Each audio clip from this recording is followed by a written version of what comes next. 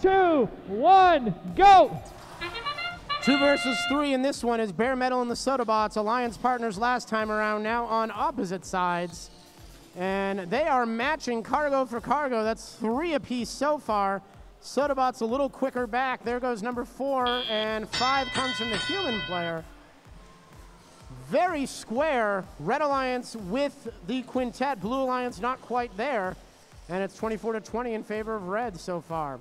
8896 Wolf Tech Robotics going to draw defensive duties. They are working on Bear Metal. But right now it's the Beamer team 8302 in their alliance partner's way. They get clear. And 2046 puts one cargo up. Find themselves the safety of the launch pad, do Bear Metal, and then they reset looking for more cargo. Meanwhile, the Blue Alliance sees the SOTAbots put up one and two blue cargo into the upper hub. That will close the gap, and it's now just 30 to 28, a two point lead for red.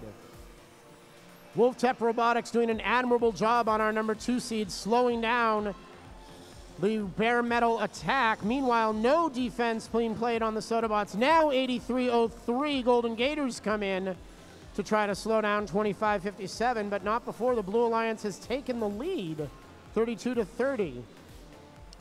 And just as soon as we say that, it is back to a Red Alliance lead 34 to 32. Now Blue Cargo comes in, and it's looking to be a back and forth match the whole way. 8302, the Beamer team here at the back side of the field, possibly looking for cargo. Bear Metal manages to escape Wolf Tech, and 2046 puts two more cargo into the upper hub. Now our two shooters run into each other, and SOTAbots manage to get clear and put their cargo in. It's going to square up the score yet again, 38 apiece as we hit 40 seconds to play. Very close match, outstanding work on both sides as we continue to see cargo matched 1 4 1 between the red and blue alliances, and this is where the difference could come. SOTAbots have abandoned their cargo efforts to work on climbing to the traversal rung. Bear Metal with the faster climb as a little more time to shoot. One for two that time under duress from 88.96. Now 14 seconds. And the Red Alliance with a six point lead. 25 57 stuck on the middle rung, un- not moving. Now they're readjusting. Will they have time? Four seconds. Here goes 2046. One, two, three. And right as the buzzer sounds, Bear Metal makes their way to the traversal rung.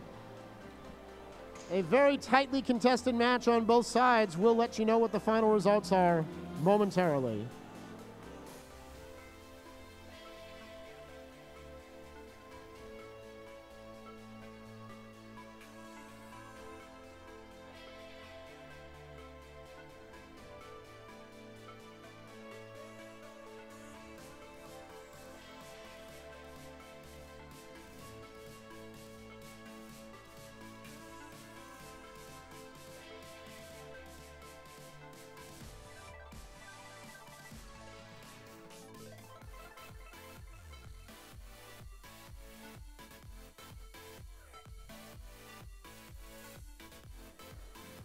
Hotly contested match throughout, but the quick and reliable traversal hang of Bear Metal makes the difference. Red Alliance takes it home. 67 to 48, and only two ranking points for the Red Alliance, unable to complete either of the other achievements. Blue Alliance goes home empty handed, but the SOTAbots remain in third position as we head into the last stretch of our qualification matches.